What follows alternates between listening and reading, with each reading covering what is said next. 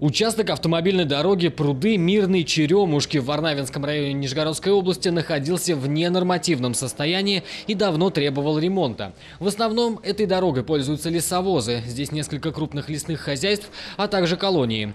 К ремонту приступили в ноябре 2019 года. Должны были завершить до конца августа этого года, но получилось сделать раньше заявленного срока. Ремонт разделили на два участка из-за разной изношенности. На первом участке была более, так скажем, дорога а, более в хорошем состоянии, профиль дороги был, имел очертание какое-то.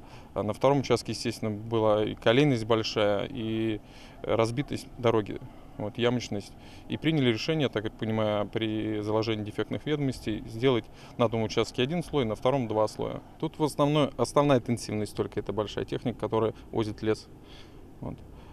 Частные машины не так много, так скажем. Проверить качество выполненных работ приехала комиссия Главного управления автомобильных дорог Нижегородской области. Смотрят на все – уклон дорожного полотна, ширину обочин. Жители близлежащих поселков Мирный и Черемушки довольны ремонтом, но и указывают на недочеты. Плохая была дорога. Сейчас нормальная.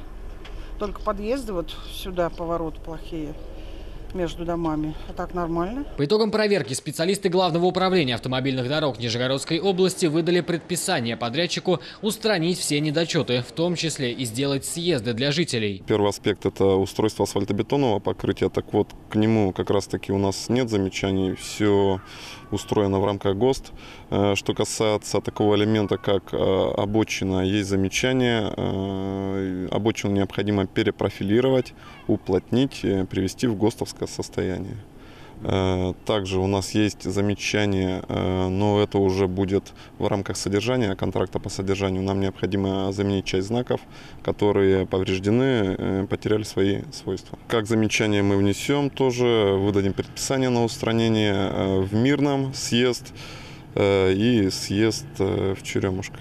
Подрядчик должен выполнить предписание в течение 7 дней. Все это время специалисты ГУАДа будут мониторить ход работ. Стоимость всего ремонта по контракту составила 68 миллионов рублей. Региональная ремонтная программа в рамках нацпроекта «Безопасные и качественные автомобильные дороги» на этот год включает в себя 195 участков общей протяженностью 881 километр. Ремонтные работы проводятся во всех абсолютно муниципалитетах э, области. И эта работа, естественно, будет продолжена.